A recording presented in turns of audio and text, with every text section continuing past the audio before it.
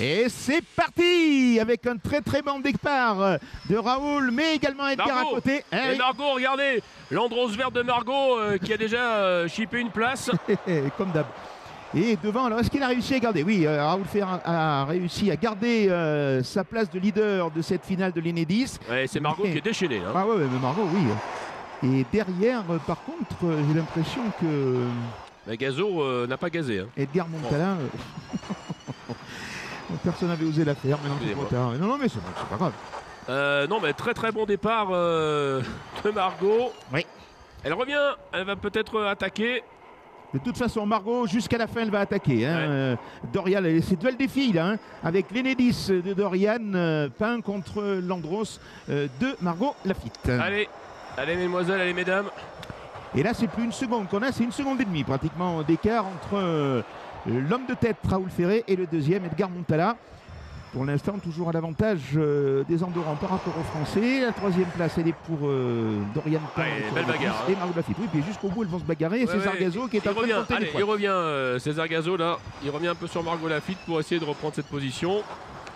Ah oui, quand on est en bagarre, souvent, on perd un petit peu de temps par rapport à camarades. Ouais, Et- sur ces, oui. sur, Androscars, à l'origine de la première compétition 100% électrique euh, au monde. Ouais, ça fait deux fois hein, que Margot là-bas euh, est sur le point de dépasser Dorian, mais à l'accélération, Dorian maintient euh, sa position euh, de troisième. Ouais, belle bagarre entre Ah, les, bien. féminines là. Et pour une place pour le podium quand même de cette Oui, il est parti finale. loin. César Gazo là, bien à l'extérieur. Il a voulu prendre la trajectoire la plus large.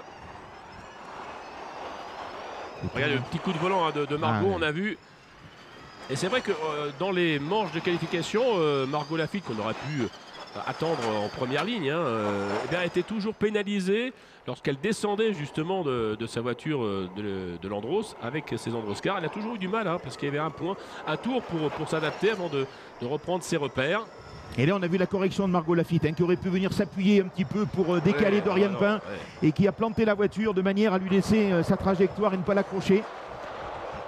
Donc, vous voyez, grande sportivité hein, parmi euh, ces pilotes de l'Enedis, euh, Trophée Andros électrique. Et la voiture euh, de l'Oxam et de Raoul Ferré qui se promène en tête de cette finale. Ça fait deux jours hein, qu'il se promène. Oui, depuis l'année dernière. il n'arrête pas de se promener. Ouais. Bon, il est chez lui, donc il fait le tour du jardin, il se balade. hein. Ah, mais des fois, tu sais. Il connaît le circuit par cœur. D'ailleurs, on aurait dû lui bander les Ouais, yeux, je pense. Je sais pas s'il connaît ce tracé. Je sais pas s'il a déjà Oh, pense utilisé. je sais pas. Attention, ça se regroupe derrière. Oh, mais On en a- Margot s'est fait passer. Elle passe, elle passe. Eh ben, elle s'est fait passer. Elle Il en, repasse. non, mais il nous manque, euh, il en manque un, j'ai l'impression. Euh, Margot, euh, ouais, qui s'était fait passer. C'était Machado, ouais. Ah là là là, oh là. Machado, là. Elle est au contact là. Ah, elle Non, reprend sa c'était position. Montala, pardon. C'était Montala qui l'avait Ouais, passé. non, mais le deuxième, voilà, est- a disparu. Ah oui, c'est c'est Dorian qui est en deuxième position et Margot troisième.